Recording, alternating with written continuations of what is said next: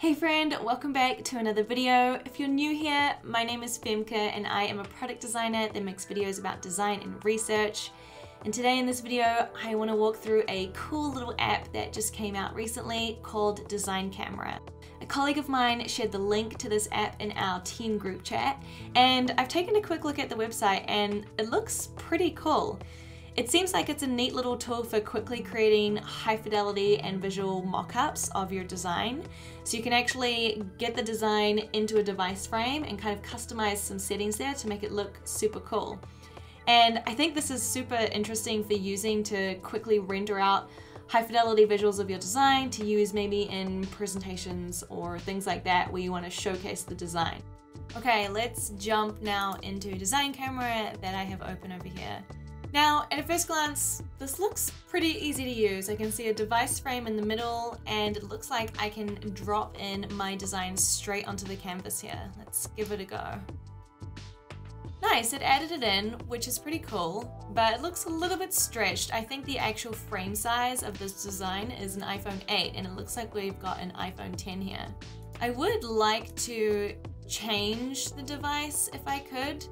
I often design actually for Android first because most people in the world use Android and I design a lot for drivers at Uber who mostly use Android phones.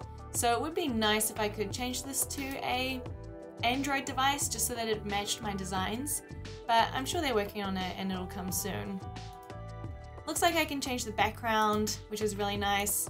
Also add a custom color, so maybe you have a brand color or something you want to add as a background. You can also change the color of the phone. Let's leave it as black for now, it's pretty classy. Turn shadows on and off. Oh, and this looks nice. I can also change it to a clay device. So if I don't want something that looks so realistic, I can use sort of a more flattened approach, which is quite nice. Looks like I can also add a multi-screen view. So I don't know, maybe if you have a flow or multiple apps that you want to show, you can put them side by side, which is pretty cool. Okay, over the top here in looks, it looks like I can show different views. So, ah, nice. Maybe if you want to highlight something at the bottom of your screen or the top, or you want it to be on a fancy angle. Uh, you can also change the angle yourself as well, which feels kind of weird. Oh, the reflection is really nice. Looks like we get a realistic view on the back there, which is cool. I don't know why it's floating to the side. Let's get it back. Yeah, front and center. I think if I click on snapshot, oh yeah, I can create an export of it. So let's try export to PNG, chuck it on the desktop. Cool, so it has exported it into a PNG, which now if I wanted to, I could drop that into a design presentation or poster wherever it's gonna go. Let's check out animation. Looks like we have some preset animations here. If I click on play, uh, we get a fancy twist. It's nice to see some pre-configured animations here. I often want to show my designs in a like more moving kind of environment. So I often try and create GIFs, but it's gonna be really hard and a lot of work for me because I'm not really a motion designer. So having these available already templated is pretty nice. So it looks like I can press record and then play one of these and I'm assuming it will spit it out as a movie. Let's check it out.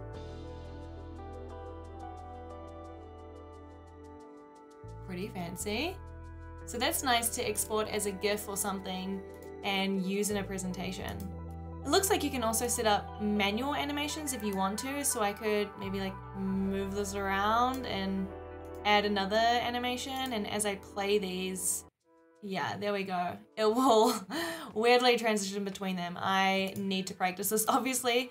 I think for the time being, these uh, preset templated ones are pretty nice and should be enough to kind of give the viewer a overall good grasp and look of the look and feel of your work. Okay, and then lastly we have this lens tab over here, which it looks like I can add some blur maybe to some certain areas if I wanted to highlight a certain area in the design. I'm not exactly sure what that's changing, but okay. One thing would be nice to kind of like zoom in and out. I'm not really sure how I can, I kind of get lost in this infinite canvas here. That would be super nice. It would also be nice if I could set the dimensions of the export. Looks like it auto exports to a certain size. You know, maybe I want to check this on Dribbble or something, so it could be nice if they had templated export dimensions, so that would make it super easy. You can also change the environment here, which adds some variety to the reflections and kind of allows you to have a bit of control over how you want the sort of look and feel of your render to be. Okay, so that's a first look at Design Camera. I think this is a really neat tool that will make it really easy for designers to quickly create high fidelity mock-ups of their design, used for presentations, used to show stakeholders, used to show featured work. And it's nice that you can automatically create a snapshot of it and also record it and have these little motions in it, which kind of really adds to the look and feel of your design.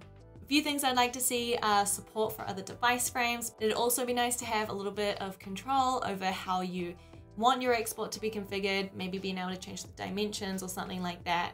And also maybe being able to add a custom background instead of just a plain color would be super nice. But they do give the option to export it on a transparent background.